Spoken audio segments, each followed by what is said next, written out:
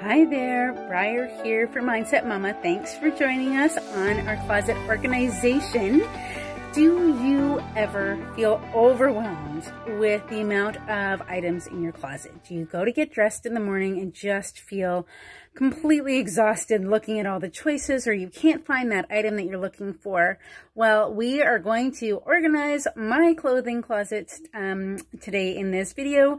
Please take a moment to like and share this video organize along with me. And if you haven't already, make sure that you subscribe to the channel to continue on with this organized series as part of our clear out and organization to help decrease stress, anxiety, and overall help our mindset when we are at home. Here we go.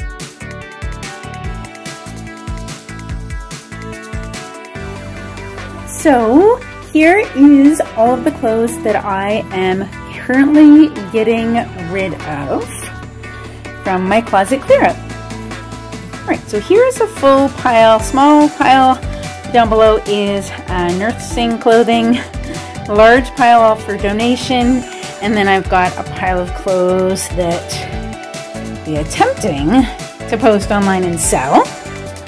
We'll see how that goes, and if they don't sell, then they will also go to donation.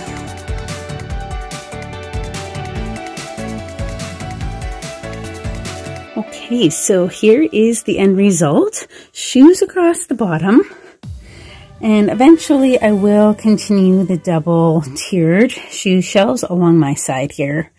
Um, we did add in two new bottom shelves here, along with the top shelves that were already there A couple extra sweaters on the top. And then across the top, I've got my bags. The bins um, down to just three. So in the furthest we've got, I know they look overflowing at the moment, but um, summer clothing. Um, and then we've got sports bras and non-nursing bras um, that I have up there. And then hanging clothes. So as you can see, um, you know, jackets, dresses, long skirts, long sleeve shirts, um, pants there, um, and then lots of extra open space, which is really lovely because I can spread things out and I don't need to worry about um, things being really crowded. I know it's all pushed to one side at the moment, um, but I can spread things out now without having to worry about having space and I can see everything clearly. I know where everything is, you know, sweaters, um, tights and workout pants, pajamas, socks and underwear in the next bins, tank tops, t-shirts and whatnot in those. Um, and that is it. And it feels wonderful. So all in all, I did this in very small chunks, but it probably took me about four different chunks of time, um, each probably about 10 to 20 minutes. Um, and then of course the shopping trip for the extra shelving. So all in all, not too bad. I did it fairly quickly. I tend to actually clear out my clothes um, at least once a year, if not like two or sometimes even three times if I'm really motivated. Um, and it always amazes me. It gets faster for sure each time I do it, but it always amazes me that I still have so much to get rid of. Um, so here are the questions that I ask myself when I'm trying to determine if I'm keeping something or not. Number one, have I worn it in the last year? If I have worn it, did it fit nicely? Was I comfortable and was I confident in it? If I haven't worn it in the last year, what would change this coming year to make me want to wear it. So um, maybe it's something like that bin of bras up top um, that I haven't worn in a while because I've been nursing children for the last four years. They are um, expensive, good quality bras that I know I'll wear again in the future. So I'm keeping those. Um, you know, but if there's, I don't know what else would change quite honestly in my life right now that I would actually start wearing something. But for some people, maybe they're going back to work in an office. Maybe, um, maybe they are moving to a different climate and they might need something. Um, so if you think you're going to wear it in the next year, then certainly keep it and see how that goes.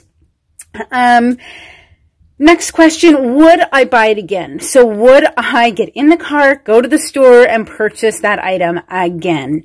And if I wouldn't, um, and I haven't worn it in the last year, then it's gone for sure. So those are the questions that I tend to ask myself as I'm going through all of my clothes and I'm clearing out. I'm sure you've heard tips and tricks about turning hangers backwards when you put things in the closet, um, when you're reorganizing to see if you wear those in a certain number of months. Um, every time you wash and put away your clothes, you put them back with the hangers facing the right way. So then you can easily see what you haven't worn in the last three months, six months, a year, however often you like to do this. Um, so that's definitely one way to do it. Um, and then just making sure that you can actually visually see everything in your closet. If everything is so ram-packed that you can't actually see what you have, you're never going to um, end up wearing all of your clothes. And as you probably have heard, statistics show that we really only wear about 10 to 20% of the clothes in our closet. And that is pretty astonishing, having that many clothes that we don't wear, um, that somebody else could be wearing, right? So I know often when we're trying to make that hard decision about letting something go, um, I really try to focus on the fact that if I'm not wearing something or I haven't worn it in the last year, somebody else out there was probably um, dying for that certain type of outfit or that certain clothing, um, that certain type of dress or that pair of workout pants that is just sitting in my closet that somebody else really, truly, honestly could be, could use. Um, so that's what I try to think about if there's something that I'm stuck on letting go. So that's it for the closet clear out. Um, I encourage you, if you haven't already started, go get started. Do it in stages.